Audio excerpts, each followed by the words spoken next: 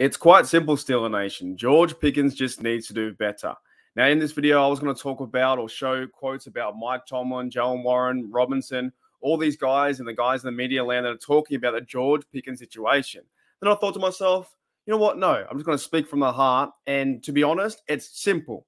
It's really simple. And I'm starting to lose a tiny bit of faith in the same way that, that I did with Claypool. I like Claypool when he first came out as a rookie. What, 11 TDs and Big Ben going on fire, 11 0, losing never heard of her. I'm losing a little bit of faith in George Pickens. However, I know he's a good player. I know he's very skillful. And I can't wait to see him play this weekend against the Bengals and hopefully turn this little drama around. But George Pickens made this drama. The media is always going to do what they're going to do. They're going to fish for small little little hooks and grab this, bait that, and next minute it turns from one little thing into a huge thing. That Pat McAfee's talking about it. Every single guy in the NFL media is talking about this, and the reason that like it looked bad, it looked really bad that George Pickens wasn't protecting or going or blocking for Jaylen Warren in that touchdown. That's bad.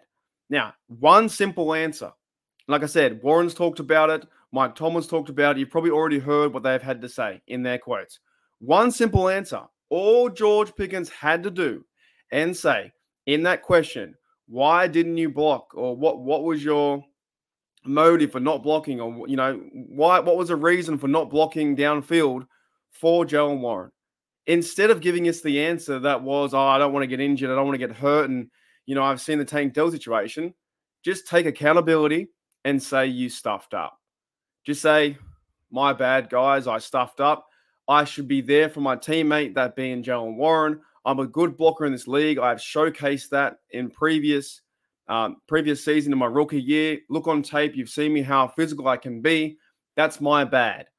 You know, I I accept responsibility for not blocking for my teammate, and next time I'll do better. That's it. If George Pickens said that, then none of this would be occurring right now with the losing the locker room. It's Mike Tomlin's fault.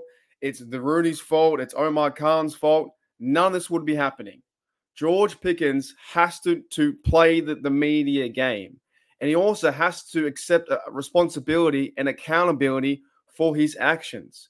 The interception didn't look good, right? He ran the opposite way while the other bloke with the ball ran almost, you know, right to the left and didn't chase him.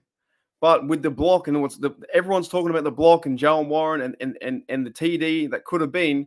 Now they did did score on that drive anyway, but it's simple. When you're in front of the media, just accept responsibility, take action, say it was your fault, move on, and try and be the best that you can be. Right? It doesn't make sense to me. That's why I'm losing a tiny bit of faith in George Pickens. Is he doing this on purpose? Is George Pickens trying to get under the media's skin to maybe cause a bit of a rift here? Maybe he's trying to get a trade next year, or maybe he doesn't feel totally happy because, as you see on film, he's frustrated, he's he's venting, he's annoyed, he's not getting the football. It's not going the George Pickens way, right? Did he quit on his teammates? Did he quit on the play? Quite possibly if he did quit on the play and it's not like him and he can bounce back, the one simple thing he can do is take action, responsibility, and say, I stuffed up, my fault. The next game that I play, I won't take a rep off.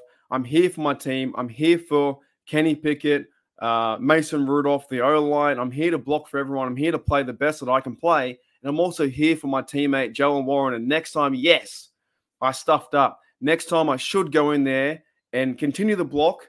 And, and next time, we're going to get uh, Jaylen Warren to score a TD. Anyways, that's just my rule. That's just like my overall thought.